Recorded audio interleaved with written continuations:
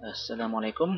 Okey, pada kali ini saya akan uh, uh, kali ini kita akan belajar cara-cara untuk buat tanda tangan ataupun signature di dalam email kita lah. Hmm, pada kali ini saya akan tunjukkan uh, signature itu di uh, account gmail.com lah. Okey, kita akan uh, buka email tersebut dan kita uh, pergi kepada setting. Lah.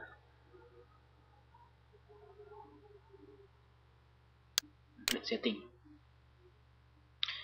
Signature ni yang penting kerana setiap kali kita uh, menghantar suatu email kepada kontak kita um, signature email itu akan tertera lah di bawah sekali di bawah email kita tu lah. Ok ok ini adalah di bahagian uh, setting di bahagian general lah Okey. Ya, kita akan uh, scroll ke bawah. Kita bagi kepada bahagian signature. Ni dia. Okey, ini bahagian signature lah. Jika kita mahukan signature, kita hanya tip di sini lah. Kalau kita tak nak melakukan ataupun tidak mahu meletakkan signature kita di uh, compose ataupun di email kita, kita just klik no sajalah. Okey. Okay, kita klik yes. Okay, kita akan letakkan kita punya signature di sini lah. Okay. Contohnya signature untuk saya adalah hmm, uh, Ibrahim bin Omar. okay, kita boleh taruh uh, nombor handset kita.